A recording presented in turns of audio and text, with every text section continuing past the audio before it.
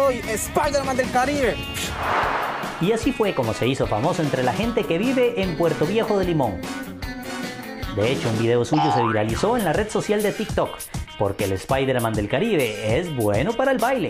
Spider-Man divierte a la gente, la gente llega muy estresada a las playas del tanto trabajo, ¿verdad? Muchas cosas llegan a la playa a estresarse. Hace alrededor de seis meses eh, me quedé sin empleo. Vi que muchas personas hacían ventas, ventas de mango, ventas de, un montón de cosas, ¿verdad? Voy a vender helados, pero necesito un, algo que llame la atención. Se me ocurrió Spider-Man, me fui para Puerto Viejo, me acuerdo que alquilé un baño y hay un espejo grande, cuerpo entero.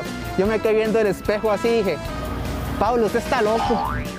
Llegué a la playa y cuando me di cuenta tenía un montón de niños. Vine para la playa. Y los anda vendiendo heladitos. Pero, ¿quién se esconde detrás del traje de Spider-Man?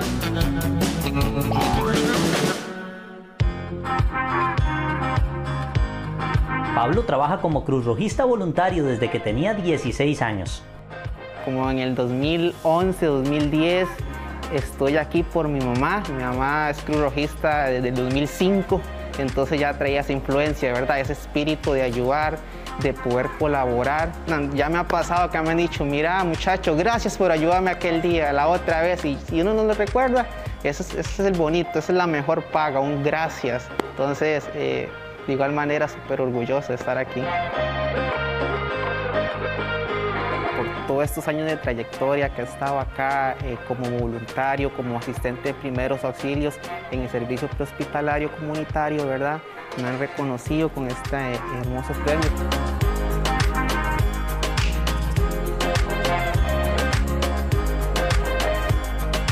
Muy, pero muy buenas tardes a todas las personas que se conectan a través de la página El Valle Informa y la Alianza Informativa Limonense. Los encontramos en este momento en el puente de Pandora que comunica a Pensor. Nos han llegado muchos reportes de este puente que está en pésimos estados. Y por si fuera poco, Pablo también es el comunicador del Valle La Estrella, su pueblo natal.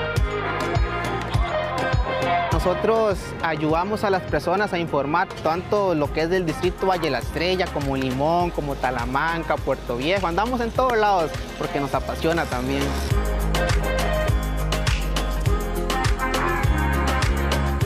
Superhéroe cuando recorre la playa, los fines de semana, regalándole a la gente sonrisas para todos aquellos que le piden una foto. Y un héroe de carne y hueso cuando está en la Cruz Roja. Así es este personaje caribeño, el original Spider-Man del Caribe.